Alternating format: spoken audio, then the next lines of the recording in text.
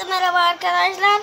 Bugün sizinle video çekiyoruz. Gördüğünüz gibi teyzem yanımda.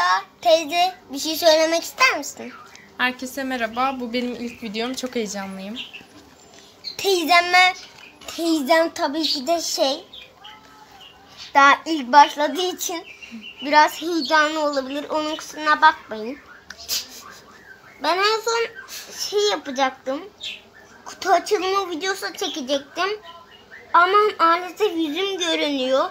O yüzden maske katmaya karar verdim. Neyse arkadaşlar oyunumuza geçelim. Şöyle Bro'u seçelim.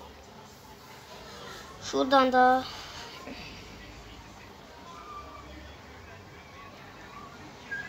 Bu arada arkadaşlar Brawl Stars seviyor musunuz sevmiyor musunuz? Onu da söyleyebilirsiniz.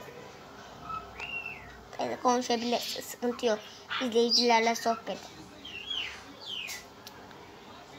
Videoya odaklandım ben. Oyunu nasıl oynuyorsun öğrenmeye çalışıyorum. Hı. Hı hı. Ben oyunu biliyorum da sen biliyor musun?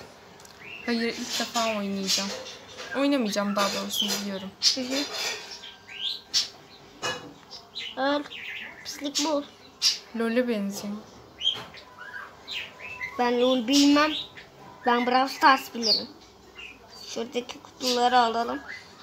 Şu çalılıklara gelince görmez oluyorsun ha. Şöyle ultimi atayım.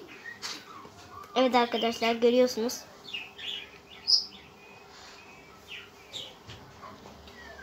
Arkadaşlar bir maç atalım.